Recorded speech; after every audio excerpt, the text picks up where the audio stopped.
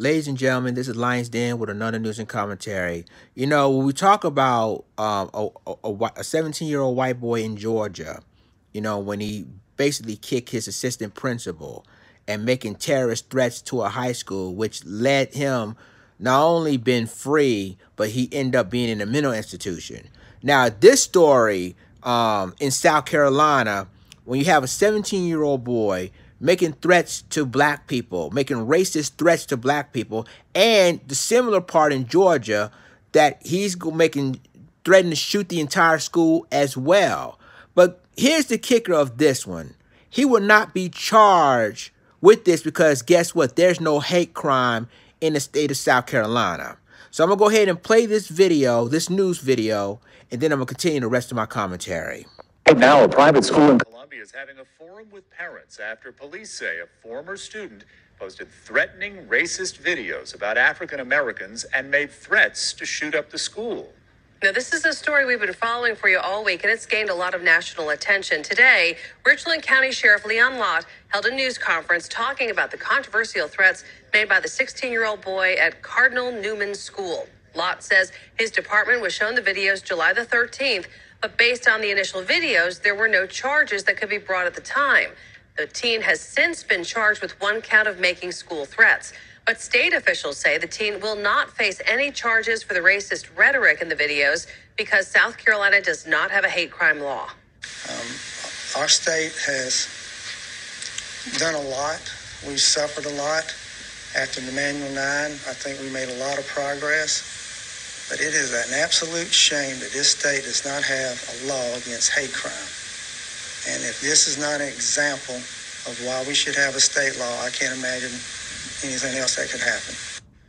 Sheriff Lott says the reason his office didn't disclose the arrest of the student or for more than two weeks is because they felt that there was no threat to the school once the student was arrested. Parents and community members are still discussing the next steps in this case. And Jenna Kurzina from our CBS affiliate in Columbia has more on the story he may have made a threat to one particular school, but he was also making threats against all African Americans in general. According to the Richland County Sheriff's Department, a Cardinal Newman student is seen on video making racist threats, pretending to shoot black people, and he also threatened to shoot up the school. Weeks after the student was arrested, the video has now circulated within the community. And Annabelle Robertson says her daughter brought it to her attention after receiving it. It was a terrorist video, and he was making threats against people in our community, and that information was kept under wraps. News 19 has decided to show only still images of the violent videos. They were shared to Robertson's daughter in a text. After Robertson saw it, she shared it on social media. I put the videos on social media because I, first of all, I believe they were already circulating in the public sphere, but I was not aware of how widely they were being circulated. And I wanted parents in our community who follow me and follow my accounts be aware that this sort of thing was happening so that they could take the necessary steps with their children and with their schools to protect them. So it was out of concern. Robertson says her daughter and some of her friends were worried after seeing these videos. I in no way whatsoever intended to be a whistleblower here.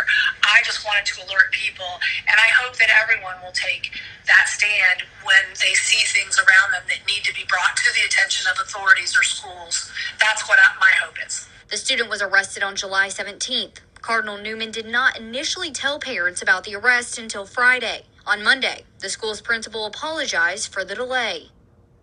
Jenna Kurzina uh, reporting for us there. School officials say the 16 year old was told he'd be expelled from the school but was allowed to withdraw. Instead, authorities say the suspect could still face more charges. See, ladies and gentlemen, you heard what the last part said. It was going to expel the young man, but instead allow him to withdraw. See, but here's here's a problem with this story. Now, you know, in the this, and this is South Carolina. This is the st- same South Carolina when Dylann Roof killing nine churchgoers in the African American church. So the state of South Carolina don't have no hate, uh, hate crime laws in that state. So you have at least five states, five that don't have hate crime laws. South Carolina is one of them. Georgia, Arkansas, um, Wyoming, and I believe Oklahoma, if I'm not mistaken. But the thing of it is, is that you, I mean, white. What do you expect when you when you when a guy when a young man, sixteen year old boy, making terrorist threats to African Americans, threatening to kill them as well as killing the entire school, but yet they're not going to charge him with the with the um, racist hate racist hate threat. They're not. He's not going to do it because there's no hate crime law. So instead, they they decided to charge him with shoot threatening to shoot up the, his school. But you know what's what's going to happen is that again you saw what happened last. They they already said that they were threatening to expel him, but instead allow him to withdraw the school. And they say he may seek more criminal charges, which also that's not going to happen because if they did, it would have happened right then and there. It would it would have it would have been happening. So it's it seems to me that you have first you what I made a, I did a story before this video about what happened in Georgia when a white teen kicked an assistant principal, then threatened to shoot up his school in Georgia, in Marietta, Georgia, Cobb County, Georgia. Now this story in South Carolina, and you and you, you see in the video that he was shooting at a box, thinking it's black people he's shooting. That's a threat. That's a that's a that's a racist threat. But you know, South Carolina ain't gonna do nothing because there's no hate crime law, unless the state senator or the state congressman um, go ahead and pass the law, pass this bill with with stopping hate crime. The stuff like this will not go on. Look what happened to Dylann Roof, by the way.